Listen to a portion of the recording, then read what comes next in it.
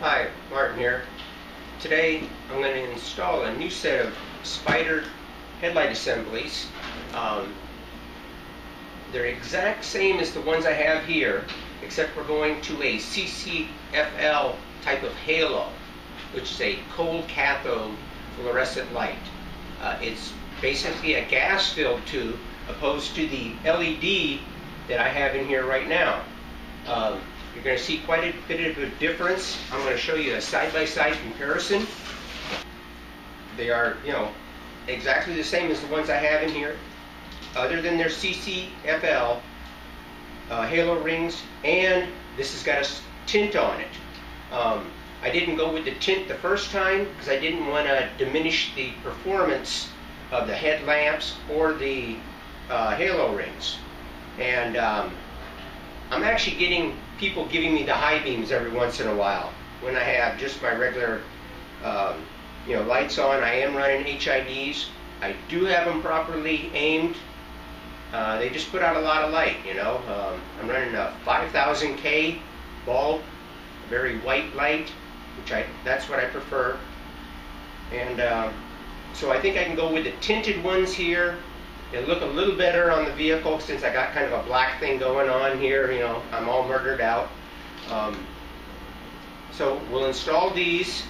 I'm also going to show you um, how much power the CCFLs draw opposed to the LEDs. That may be a consideration for you.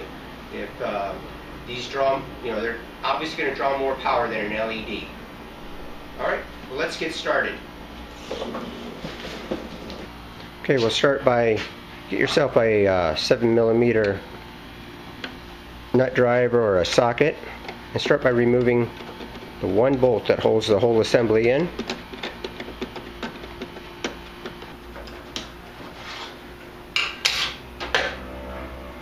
Just grasp the uh, headlight assembly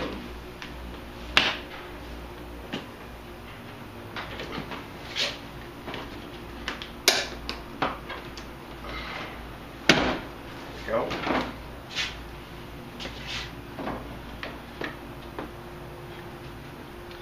And then disconnect all the wiring, simply unplugging everything.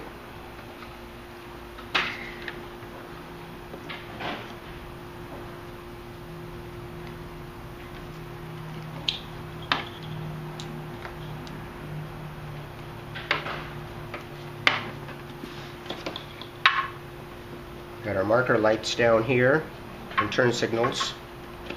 Disconnect those.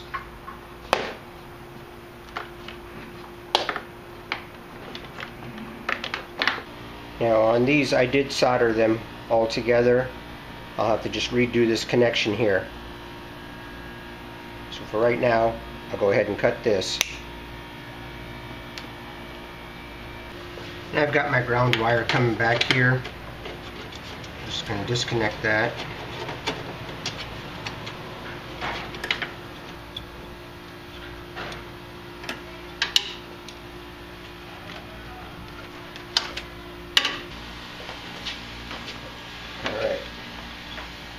Headlight assembly. Okay, here you can see the two headlight assemblies side by side. Obviously you can tell the difference between the tinted one and the non-tinted. Okay, I'm going to go ahead and turn on the uh, halo rings on both of them.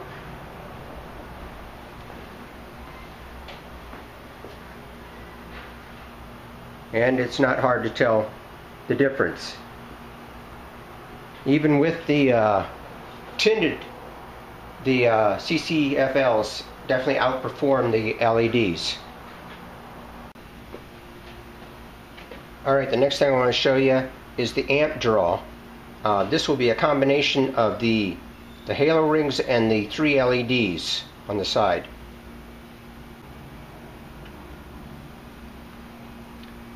And if you can see that there on the gauge, we're looking at 0.2 amps. So a very low amp draw. Okay, now with the CCFLs and the three LEDs on the side as well.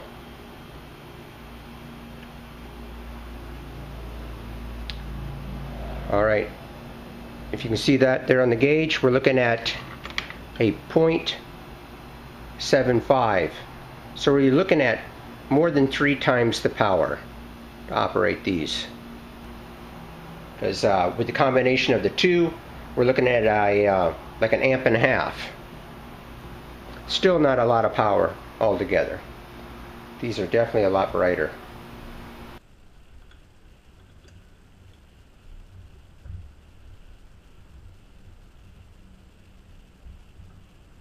Be careful not to touch the lens glass on the bulb itself. Because that uh, does make it go bad really fast. Oils from your fingers.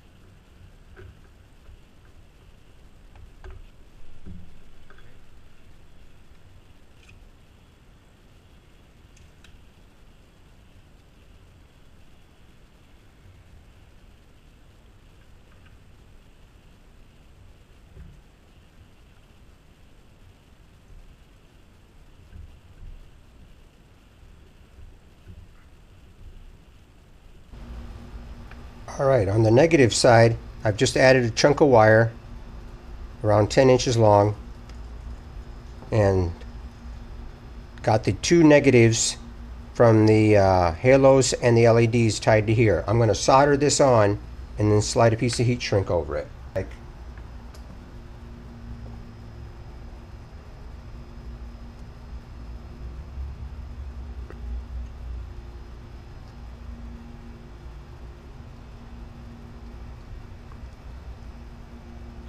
Okay.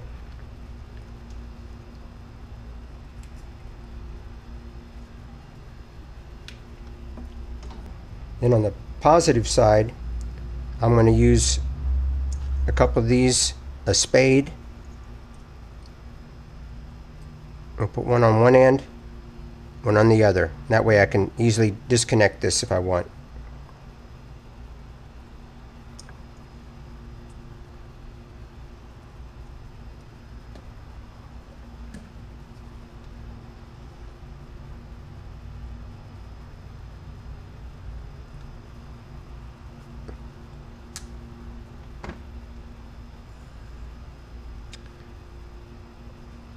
Another thing you're going to want to do is they put these caps on here. You're going to want to remove that from your old assembly. And this is from the original assembly from the factory. This is like a vent. You can install this back on here.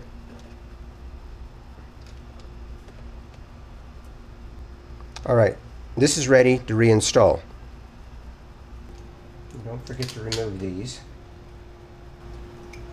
Alright, go ahead and put in your turn signals and marker lights.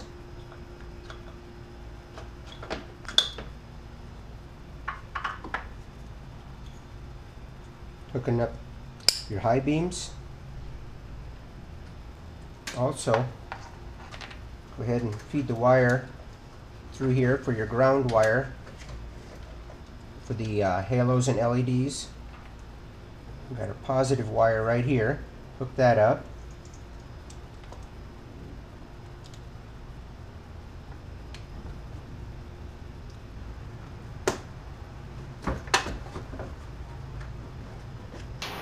Just like that.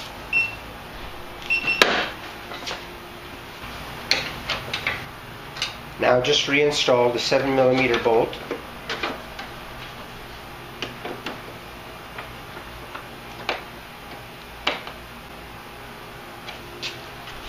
Alright, with the headlamp installed, all we got left is to show you how the you adjust your front headlamp. This is where you adjusted it originally. There was a bolt sticking up here and you'd stick a socket on here and turn it left or right to make it go up or down. You're going to do the exact same thing except you're going to use a Phillips screwdriver. Uh, I'd find one with a fairly long shaft on it. Now I'm going to show you here through the back yes, if you could get to it, if there's not an air box in the way, or like on the other side where you have a battery, fuse box, etc., all in the way, you could not get to this Phillips screw here. But what they provide is this wheel, and if you look closely, you'll see the teeth on there. Well, you take your Phillips screwdriver, you go through the original hole, come right down there like that. And this is how you adjust your front headlight. Especially important on the side with the battery that will be impossible to get to without actually removing the headlamp if, if you couldn't get to it you know i mean but you just use the stock location here come down here with a phillips screwdriver and you'll be able to adjust it without removing the front headlamp as you can see does a nice job just like that Well, as you can see that the CCFLs are a lot brighter than the LED uh, halos. Um, and they do appear even brighter on camera. Uh, but they are a definite improvement. I'm talking, you know, you've seen some of the, the close-up shots I had. You're talking three times brighter than an LED. Uh, much closer to, let's say, what you're familiar with when you see a BMW coming down the road. Um, and that's what I really like about these. So for the little bit of extra cost, um, like 30 to 40 dollars a set, you're looking at, and that they outperform through the smoked lenses through a clear, you know, uh, I think this is definitely the way to go. Well, thanks for watching, and please subscribe.